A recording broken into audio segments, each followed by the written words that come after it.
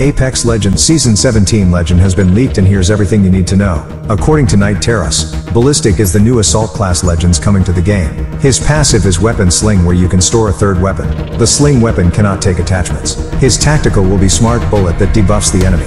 Enemies' guns will start heat up as they shoot. Overheating will cause a reaction and deal damage. Holding the tactical will also allow it to lock on to a target. His ultimate is a weapon enhancer. When activated nearby teammates get a buff applied.